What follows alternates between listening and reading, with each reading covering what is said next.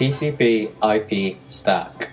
The TCP IP stack is a type of protocol stack. A protocol stack is a stack of protocol layers. Each layer handles a different process. The layers in a TCP IP stack are the application layer, the transport layer, the network layer, the link layer. The application layer controls the applications, such as a web browser. The web browser sends a request to the internet. This request goes from the application layer to the transport layer. The transport layer uses the Transmission Control Protocol, or TCP for short. It uses this to split the data for the request into chunks that go into the packets.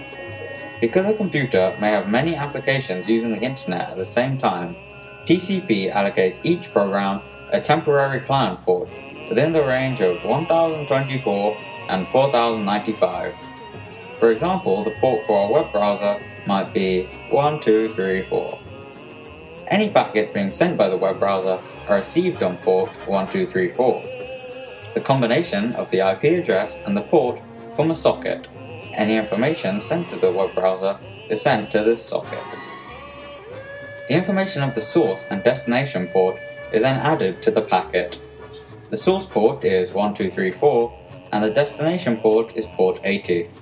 Port 80 is used as it is a registered universal port that is always used for HTTP. The packets are then passed to the network layer. The network layer gives the packets destination and source IP addresses. Then the packets are passed to the link layer. The link layer then adds hardware addresses. These addresses are MAC addresses. Two MAC addresses are added. These are the source and destination addresses. The packets are then sent to a gateway that attaches to the internet backbone. The packets are then routed along the internet backbone to the right IP address.